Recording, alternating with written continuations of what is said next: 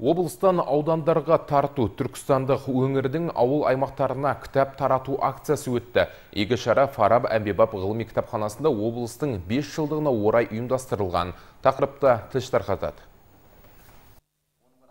Акция 5 жылдыққа 5 әдеби сапар рухани мәдени шарасының қорытындысы кешінде ұйымдастырылды. Қорытынды кеште облыс әкімі орынбасары Бейсен Дәулетұлы арнайы келіп жиналған кітаптарды аудан кітапханашыларына үлестіріп берді. Алғы сөз алған облыс әкімі орынбасары бұл жобаның маңыздылығына тоқталды. Бұл мәселеге облыс басшысы Дархан Амангелдіұлы айрықша көңіл бөліп, қайта-қайта осы салаға назар аударып, тиісінше мәселелердің тиімді шешілуіне тікелей назарда ұстап келе жатыр. Енді осының аясында біз енді жаңа акцияны бастау ретінде алғанбыз. Осыдан бірнеше ай бұрын.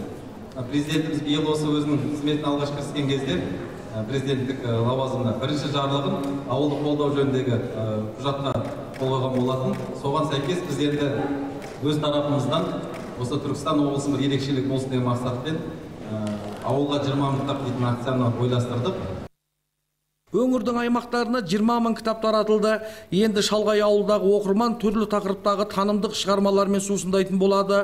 Туындылар арасында балаларға базарлықта жетерлік қазақ халқының классикалық ертегілер жас оқырмандарға қанат бітірері анық.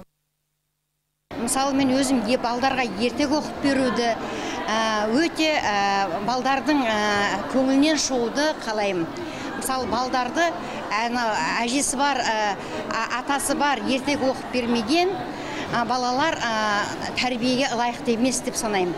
Әже мен атаның ертегісін тыңдап солардың ақыл ойын тыңдаған балалар ой өрісі де мына өмірге деген қызығушылығы артады. Бұл жоба оқырманның танымын өсіріп қана қоймай, олардың кітап оқуға деген ықыласын арттырады, ауыл аймақтағы кітапханалардың қорын толықтырады.